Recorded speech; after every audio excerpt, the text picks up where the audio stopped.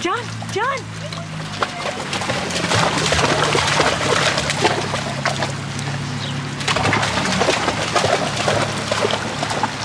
For the best advice about moving to Mexico, subscribe to my channel and hit the bell to be notified when I upload a new episode every Thursday. If you're new to my channel, welcome, and if you've been here before, welcome back. My name is Alex and I moved to Mexico from the US in 2017. I've called Querétaro home ever since. In today's vlog, I'm going to be giving you a mini tour of one of my favorite neighborhoods in Querétaro. It has such a cool vibe and I could seriously see myself living there someday. Plus, I'm going to be showing you around my new co-working space and chatting with Luis and Taylor about our favorite places to get out of the house and get some work done in Querétaro.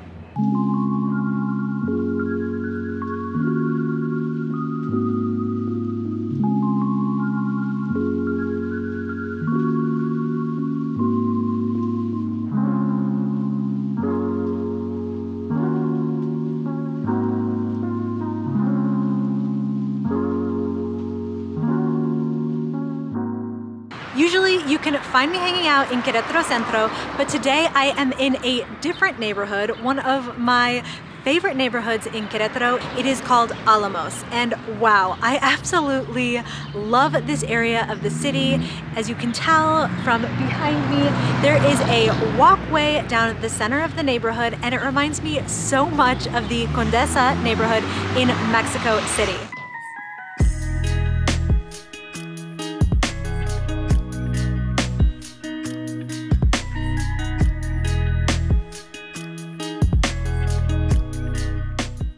John is snoozing. He's being such a good boy right now. Luis and I just finished eating lunch. It was so, well, Luis copied me. What do we get? We got a really delicious salad with salmon on top. Yes, I ordered first and then Luis started to order something else. I was like, you know what, wait, that actually sounds good. We're at Mosher Cafe and I absolutely love this place. We came the first time, I think about a month ago and we came on a Friday night for live music and this place just has such a cool vibe. It's super like eclectic. It's super nice. There's lots of outdoor space, indoor space, and it's yeah, it's a really great place. I also love that there's so many like little boutiques and shops around it. There's an eyeglass store, a couple clothing boutiques, an interior design shop. It's just got a really nice feel to it.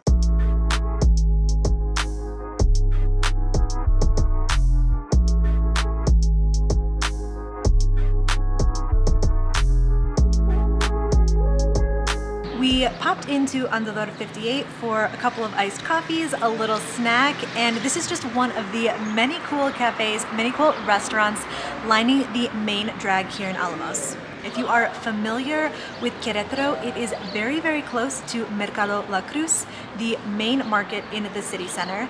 And when you cross the river, when you cross Universidad in Querétaro, you will get to this neighborhood, get over to Alamos.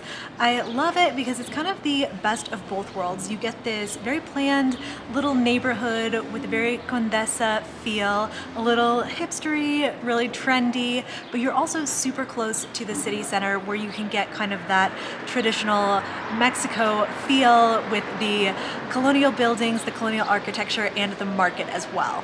So I got an iced coffee and this delicious vegan donut. Um, the lady downstairs told me that it's made with garbanzo flour and it's totally vegan which is awesome. Um, this is one thing I really like about Mexico. I think Mexico in general, it's really easy to eat vegan or vegetarian, and even more so in Querétaro. There's so many vegan and vegetarian options. This neighborhood, Alamos, is great. There's so many cafes, um, and almost all of them will have like soy milk or vegan food options, so it's really easy to stick to that if, if you're looking for those options.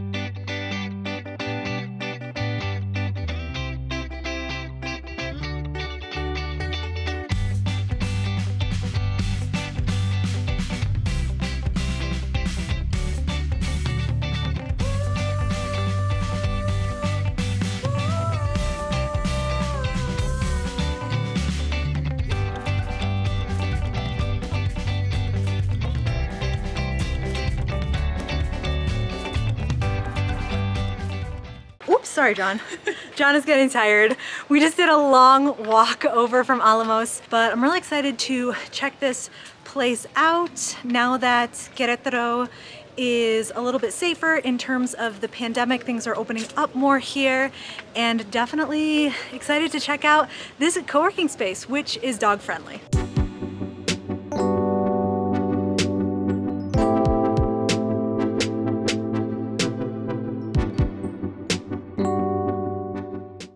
Got the memo that we wore black matching tank tops to our first day at the co-working space. This is Laura's first day in Mexico. She is doing the digital nomad thing right off the bat and we're all here at the co-working space and I just thought I'd talk a little bit about prices. Laura, how much did you pay for a day pass here? Uh, 200 Mexican pesos. Luis and I did a promo, a sign up with a friend, and we paid 2,800 pesos, which is, how much did we say that is in dollars? 140 US? That is between two people for two months. So it comes out to around $35 per month for each of us. Not bad.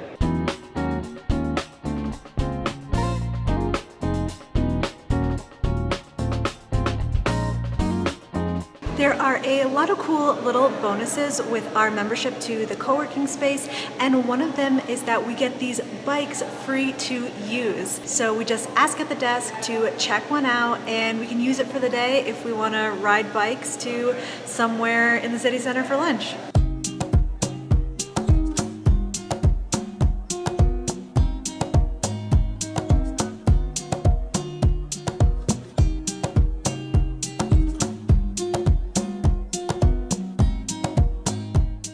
I'm sure that we will eat at the cafe over at Crow in the future, but today we decided to come over and have lunch at Tosca, which is on Andador Libertad in the Centro, and I got the salmon salad for lunch. I guess I'm kind of between Mosher and today I'm sort of on a salmon salad kick right now. But I wanted to ask Louise about some of her other favorite places to work in Querétaro to get out of the house and get some stuff done.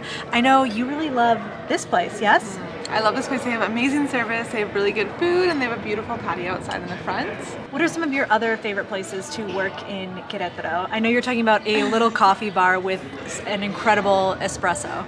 Yeah, I love this place called Cofin, spelled with a K. Um, it's a little bit more in the centro of Querétaro, and it's just like a little coffee bar. They have the best espresso I've had here. Uh, they have really good service. It's great for co-working. They're really friendly to like digital nomads. They say, hey, stay as long as you want, and they also have really, really good food. There are lots of spaces if you are a digital nomad, if you're a freelancer, self-employed person, and you like to get out of the house to work, you definitely don't have to be trapped in your Airbnb, in your hotel, in your apartment, whatever when you come to Querétaro. There are lots of good places to work. Start over. Cut. Yeah, in the center especially, there are all kinds of places to work. Uh, I, one that I like, um, and it's because it opens before most of the co-working spaces, is Starbucks. There's a Starbucks by Los Arcos, and it's a really great place to work. Pretty much the entire second floor, at least, is set up for people working remotely. You know, each seat has uh, outlets, and the Wi-Fi is really, really good. So that's one place I'd recommend. I've also been to a couple other co-working spaces. Uh, one is called Co-House and one is called Jobs. The Jobs one especially is very, very cool. Um, but yeah, it's just nice to have options uh, when you're not feeling inspired at home and you want to get out.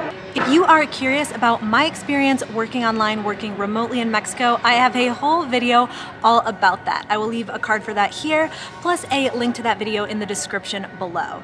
If you are from Querétaro, have spent time in Querétaro, and have your own suggestions for cafes and co-working spaces, I would love to hear them. Be sure to leave a comment. And as always, if you enjoyed this video, if you found it helpful, be sure to give it a thumbs up because that really helps to support my channel. I'm Alex from backpackingbrunette.com. Thanks for watching.